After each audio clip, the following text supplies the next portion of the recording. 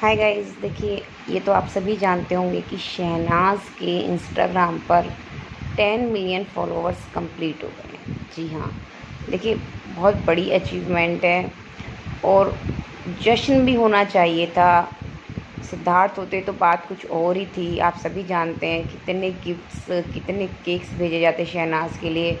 उनकी Instagram story आती, पता नहीं क्या क्या होता ट्रेंड होता। जी हाँ लेकिन देखिए एक बड़ी वजह है, अब तो शहनाज को कॉन्ग्रेचुलेशन भी नहीं बोल सकते हैं। जी।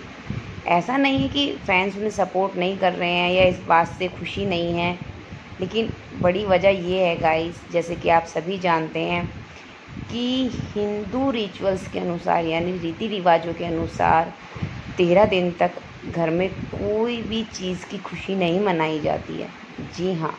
और ये तो आप सभी जानते हैं कि सिद्धार्थ के अंतिम संस्कार की पूजा तो शहनाज ने की थी ना। आई थी ये न्यूज़ भी, देखा था आपने पिक्स में भी कि शहनाज भी सिद्धार्थ की दीदी के साथ बैठी थी। उन्होंने भी वो पूजा की है। सिद्धार्थ के लिए घर में पूजा रखी गई है, चल रही है। सो गाइस ऐसे में ये होता है कि आप कॉन्ग्रेचुलेशन भी नहीं बोलते अगर किसी को फैमिली मानते हैं तो। और फैंस जो हैं, वो शहनाज की फैमिली से कम नहीं है।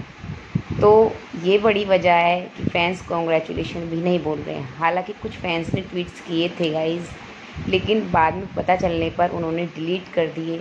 ये देख के गाइज़ मुझे इतना इमोशनल फील हुआ ना कि जो फैंस हैं, वो शहनाज के साथ, सिडनाज के साथ, सिद्धार्थ के साथ इतना कनेक्टेड हैं। सच में फैमिली हैं। जी हाँ। Thank you guys